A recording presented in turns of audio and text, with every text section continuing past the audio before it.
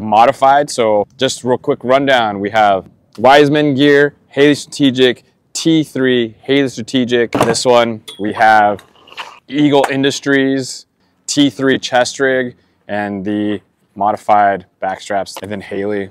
And then this one is Crye AVS, T3 chest rig, with a blue force gear front. You know, this one's got all kinds of pockets and stuff to shove fun things in, but these ones that you're running on a hot day, they're just, they do what they do best and hold mags. That's really all you need them to do. And like I said, most of the time, I run this one without anything in the front, just running that.